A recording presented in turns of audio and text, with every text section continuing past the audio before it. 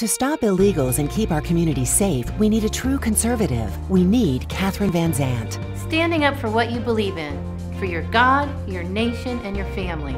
I'll stand for strong borders, defend our Constitution, and our freedoms endowed by our Creator.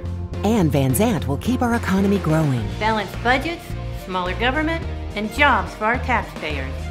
We deserve a strong voice in Tallahassee. That's Katherine Van Zant, a name you know, a conservative you can trust.